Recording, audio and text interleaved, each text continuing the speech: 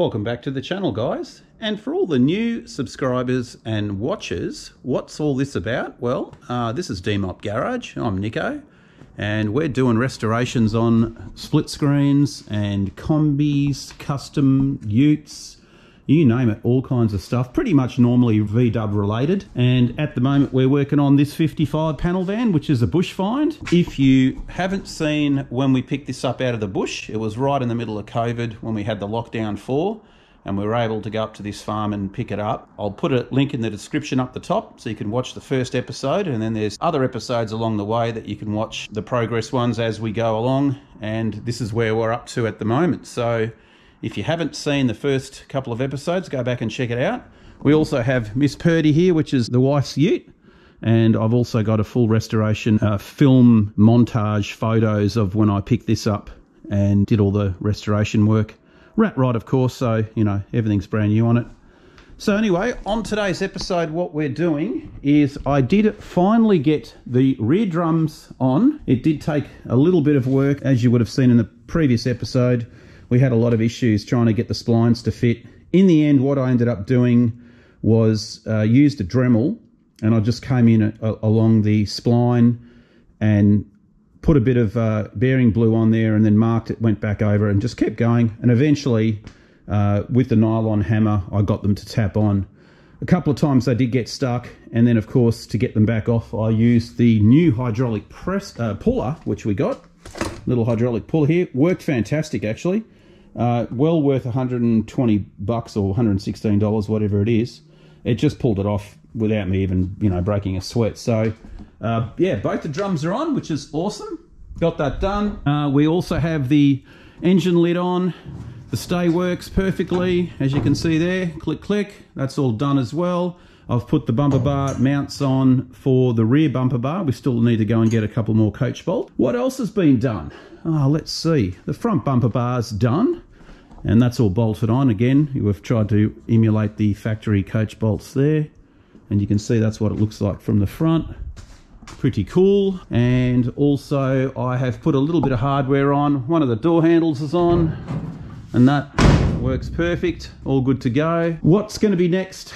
Uh, oh the other thing too we did get a Y a Y piece for under the floor. We actually got two because we've got another build coming up a 56 11 window which will be a full restoration as a shiny bus not a patina one. So the non-patina fans out there will definitely like that one because that one's going to be a full build uh, back to uh, you know um, shininess uh, the rear bumper bar, I've had it out here festering away, trying to get a little bit of a little bit of oxidization and a little bit of rust on it, just to make it try and look a bit old. You can see there, it's starting to work. I've just been putting a little bit of water on it, leaving it out overnight, and that's been doing the job just nicely, fixing that up, because it's got to kind of marry in with this front one, I suppose. And yeah, we've got Josh is coming down soon. We're going to get some get the new wheels on it. Uh, once I get the Y piece that's in the mail, I can get that welded in. Then we can paint the inside uh, back cabin in the primer grey that it's supposed to be in, and then we can start on the cabin installing bits and pieces. You can see here, I've been working on the windows. We've got the quarter quarter window in installed. We're just waiting for a few components to finish off this window and then we've got to get on to the second one. This was the factory sun visor, which was completely seized, and I did actually manage to get this all moving, which uh, and it actually does go up and down as well, which I'm pretty stoked about, so we can reuse him. We've got the original shift rod. So yeah, all, all in all, we've got a few more bits and pieces we've got to do, but it's getting close. Hopefully motor will be done soon. That's pretty much the update for now. So let's get cracking for today's efforts and we're going to do a few little bits and pieces. Let's get into it. A few moments later. Well, well, fellas, look what's in the house. We finally got our Y pipe. She's a little bit, she's a little bit, uh, yeah, you know, that's all right. We'll fix her up, get it sandblasted, repair up all the little uh, cuts and stuff. I mean, it's obviously been chopped out of a bus, but you know, it's it's not bad condition at all. We'll chuck that in a sandblaster, give it a good clean, and then we can rust convert it and uh, paint it blue. And get it welded into the bus. That's one of the last, that's pretty much is the last fabrication piece we've got to do. So that's a good thing. Awesome. All right, let's get it in the blaster and get cracking on it. So here's the second Y piece. We got two of them. Pretty amazing. We actually do need two because we've got another build coming up that hasn't got the Y piece either. So this one's the one in uh, better condition. So Let's uh, pop this in the sandblaster. We'll give it a, a clean up. Then we can treat it for rust. Uh, we've got those uh, heater diffuser kind of, I don't even know what these things are. I know they've got some material inside them, probably just to keep the, the fumes from running through. Uh, but we'll give those a give those a clean up as well. We can give them a paint. Yeah, go from there, but stoked that we've got this part. Okay, fresh out of the sandblaster. I'll just give these, uh, that actually came up reasonably good. So we'll put a bit of kill rust on that, uh, rust converter, and then we can give them a spray of red oxide and then uh, paint them blue and get them retrofitted into the bus. We've probably just got to repair a little bit of this area here where that cut is. I'll just go and get the grinder on this and just clean it up and then we'll just plug up all these little holes with the welder. Now, a couple of people are also asking about the new wheels. Uh, they, they're the classic Radirs from the States. Yeah, what a mission it was to get those into the country. Took almost, oh, pretty much 12 months to from ordering them to getting them uh, imported in. And uh, yeah, they look they look pretty cool.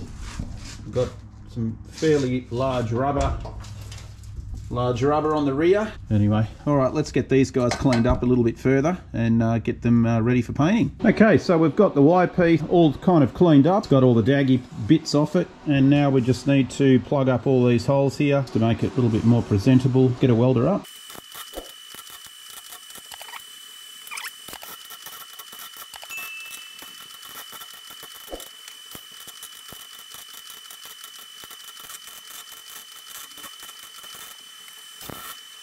Let's uh, give that a grind back.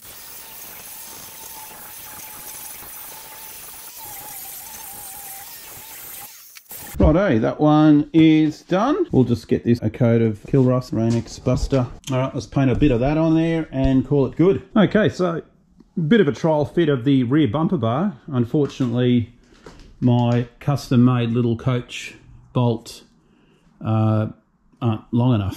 so I've got to go back and get some longer ones. So they're just ones I've put in just to temporary get it mounted. But you can see, you know, we've got the paint pretty much how I think it looks pretty good. It doesn't look new, and that's kind of what we want. A little bit of aging, and it uh, goes with the engine lid nicely. So that one's done. The next job, which is going to be a fun, is the wiring loom. We've got a brand new wiring loom here from uh, Wolfsburg West, so we're going to get that installed now. And It'll be interesting to see how we can get this threaded through. Let's give it a crack. Okay, so I've got the wiring loom just on the ground and what we're going to do is we've got probably parts for getting tangled at the front. So we're going to thread it from the rear of the vehicle through to the front. I think that might be the easiest way to do it. So basically we're going to tape up all this just so it's one solid uh, piece and then we will put a little piece of wire through or some string and then uh, attach it to it and then pull it through and uh, hopefully everything goes to plan. Let's uh, give it a crack. Okay, so you can see what I've done. I've just pretty much turned it into one wire and we can just feed this through and hopefully she will slide through uh, without any problems. There is a few areas under the bus that are kind of torturous, so we'll, we'll see how we go. Okay, let's get this set up. I'll get some light for you and uh, let's see how we go getting it in. Okay, so the first place we've got to get it through, you can see there's a, a little tab there that's going to hold part of the wiring loom, uh, a tab here, and then it's going to run up through a little hole there, go up through the back, around to the other lights for the brake lights and turn signals. But the main loom is going to run through this little hole up through there. So we can pretty much just start threading it from here. We've got to go through the chassis rail and that's going to basically come out through this point just in here, through that little hole there, and then it'll run down the chassis rail to the front. So really we've got this section here to get it through and it shouldn't be too hard, but uh, let's see, because it's got to go around underneath this guy. This is the problematic area and let's see how problematic it becomes. All right, let's feed it, feed her through. I wonder if I can do this without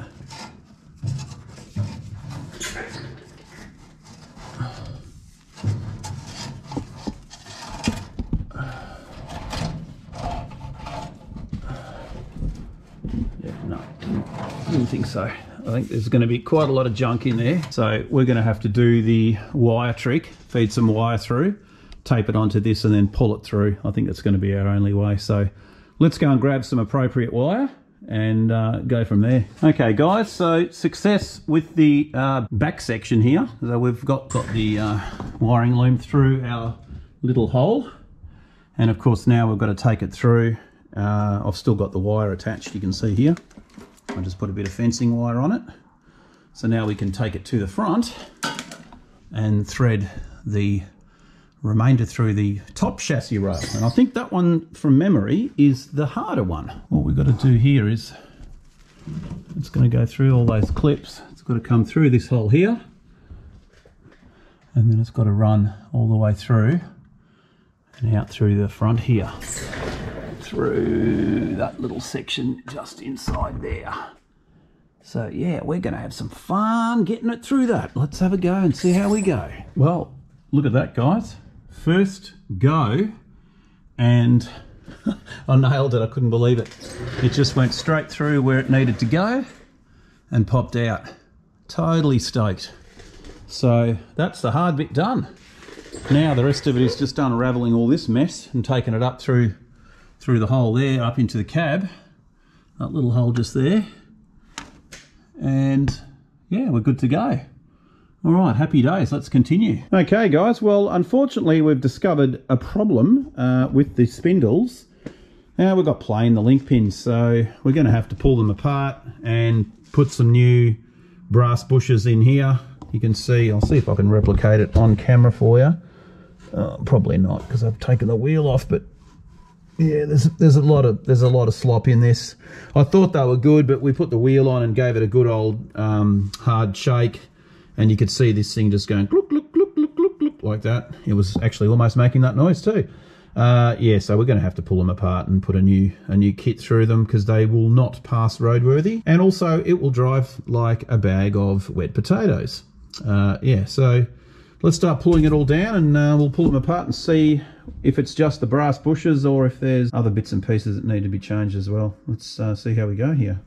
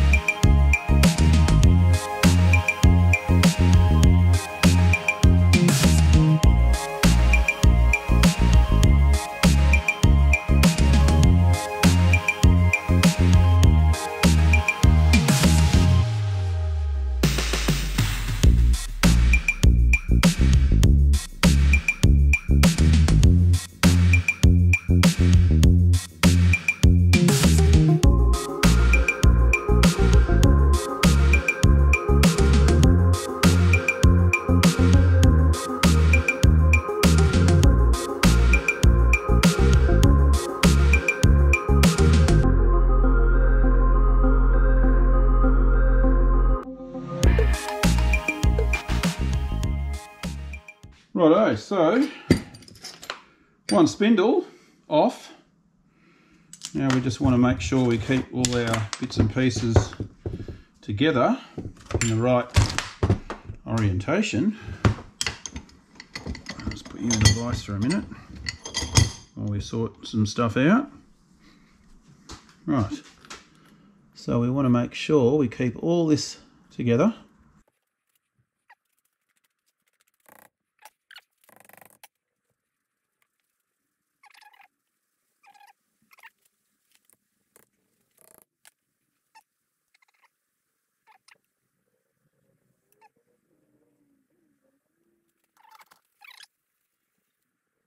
Yep. Damn. Uh, have a look at this, guy. So that's what's happened to when the needle bearing has not been lubricated properly and you can see all the rust all over it. It's terrible. Um, and it's gone, it's really gone and clapped out this pin now. You can see it's got score marks. It's not flat at all. So that's unfortunately junk. So we'll have to get another another bottom pin. Yeah, not looking good. And of course, the next thing now is going to be we're going to have to take off. We're going to have to press this apart because the, yeah, I think the pins inside are no good either. All right, let's continue the teardown.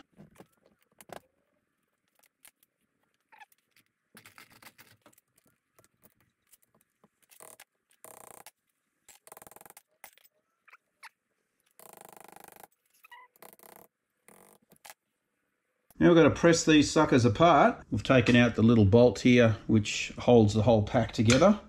So now we can go and get the press and press this apart. Looks like it's going to be, they're going to be a full rebuild. Right, pressy pressy time. Okay, so just returned from the press and we've pressed apart obviously all the, the parts for for you guys that haven't seen a spindle be being pressed apart I'll, I'll stick a link in the description when I did it. it was one of my very first videos so it's letterbox telephone uh, phone. Yeah it's not very good quality. I probably should do another one.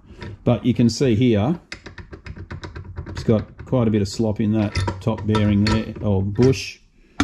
Uh, that one sits in there like so. That wasn't actually too bad.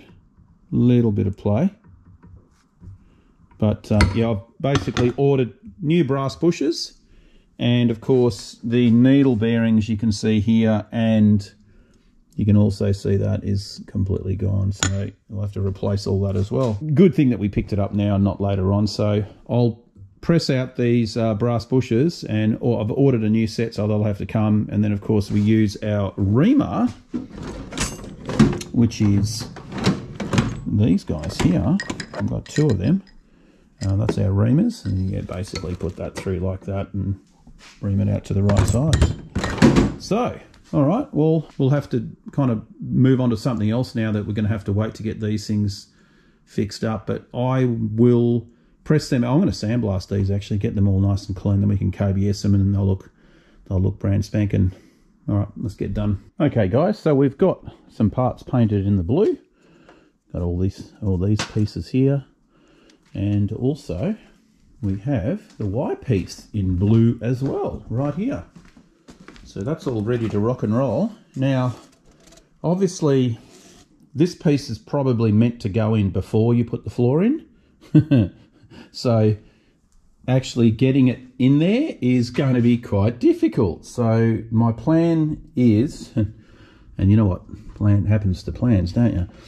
Um, what we're going to do is I'm just going to separate these pieces. We'll do that right now because they're just, I've actually de, um, they're not welded anymore. I've cut them off so I can just separate them. So the idea is, pop these apart. And this piece here, we can get that mounted in. All right, so this piece is going to go in here, like so. Just have to make sure I can get it in there. 2,000 years later. If you only knew the torture that that took to put in, because you would imagine that the Y piece would be in there before you put the floor on. And obviously we've welded the floor on, so there was absolutely no room to get those pieces in. So yeah, that was uh, that was the challenge. You can see there I just had to do a little bit of a relief cut at the top in order to get the pipe in. Now I'll just have to come back around and shut it all up again. And, you know, I've tacked it. I've tacked it all the way around and we'll just go and put some, run some Sikaflex around it and then uh, paint it blue and we're all good. But at least it's in. And there, yeah, that was, uh, that was a good one. All right, let's uh, get inside the cab or inside the, the back section and we'll uh, just tack weld the top part to the floor and then we can start running the Sikaflex around it and then give it a paint and we'll be all good. Righto guys, so here you can see we've got our Y pipe all fixed in and painted in the blue, looking flash. And that's the last little piece of fabrication we've got to get done, which we're stoked on. So now we can move on to inside the cab. We've got to get that all prepared for the primer and We've got our spindle sandblasted as well. We're, we're waiting on the uh, the brass bushes to reinsert those. We've got all our bits and pieces in here. All I went and found some new needle bearings and a couple of uh, other little pins that are in better condition than the original ones. So they're all ready to go. Hopefully next week we'll get those done. Yeah, that's about it for today's effort. I think I'm going to go inside and get some dinner. It's getting late, getting cold. See you guys in the next episode. Thanks for the new subscribers too. You.